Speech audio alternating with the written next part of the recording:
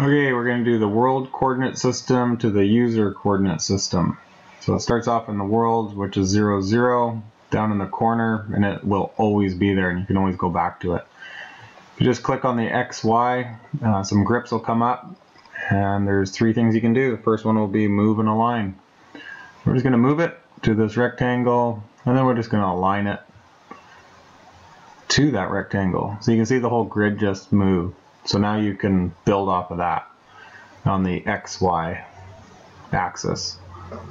And we can move origin only. So if we wanted to move that somewhere else, because if we want to type in coordinates, then we can just come off that 0, 0, just because that's the user coordinate system. And you can put it wherever you want.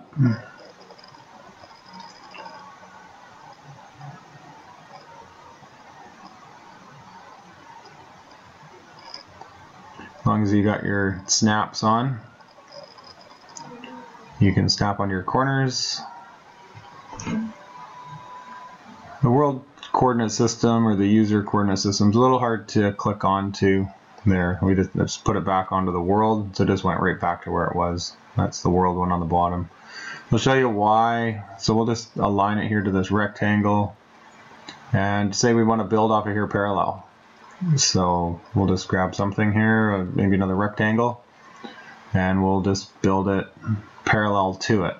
So it's a lot easier than trying to put it on an angle or figure out what the angle is and then have to type the angle in. So it's sometimes a little bit quicker. There, so now it's parallel. And then you can just return it back to the world or wherever you want to go next.